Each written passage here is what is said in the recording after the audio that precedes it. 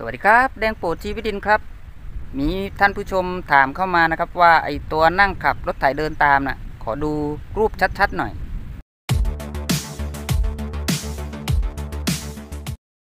สำหรับตัวยืนขับ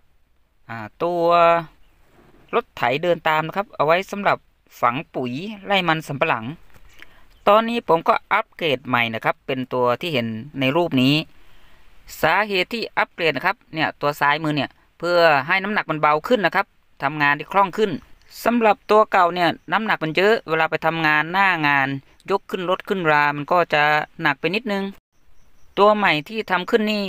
น้ำหนักอยู่ประมาณ 11 กิโลกรัมนะครับ มันก็จะยกได้ง่ายไม่หนัก วัสดุอุปกรณ์หลักๆ เลยก็จะเป็นเหล็กกล่อง2คูณ1นิ้วนะครับ ชุบอ่ากาวไนท์แล้วเหล็กกล่องที่ใช้นี่ก็จะหนาประมาณมิลสองครับ 1.2 มิล มันก็จะทำให้เราทำงานสะดวกขึ้นอไอตัวแรกนะผมจ้างเขาทำนะครับ ตัวนี้ผมทำเอง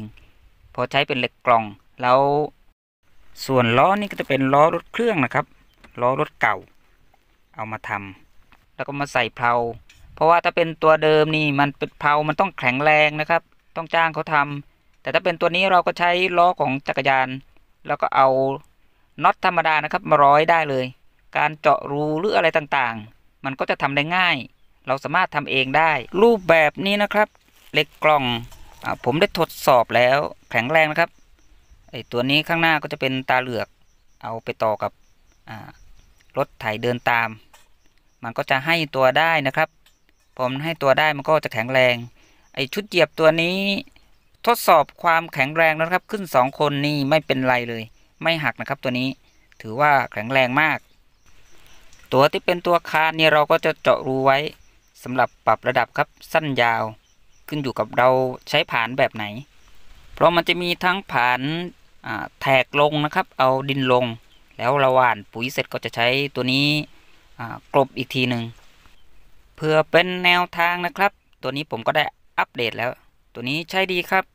มันก็จะทำให้เราไม่เหนื่อยมาก ในการที่เราจะไปเอาล่องลงหวานปุ๋ย แล้วก็ ฝังกลบปุ๋ย ฝากกดไลค์ให้ด้วยนะครับ เดี๋ยวเจอกันใหม่ในคลิปหน้า สวัสดีครับ